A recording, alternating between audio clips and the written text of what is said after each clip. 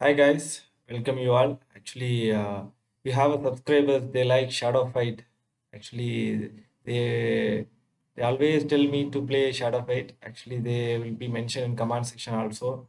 Actually, I'm playing in PC. Actually, right now the Shadow Fight is only available in uh, mobile only, guys. Actually, I just went to the Google and I just search about Shadow Fight, but there is a good news, guys. Actually, I get Actually, look at here, guys. Actually, it's a shadow fight. Okay, and uh, it's actually it's on Steam platform. It's uh, but right now it's not available. Actually, they are planning a date to announce. Okay, the game is going to come on PC also right now. Actually, we can play in PC also. So it's a good good news. Actually, we'll be after the release of this. Okay, after the release in PC, we will be playing this game in PC also. Okay, guys, and that's something I need to mention.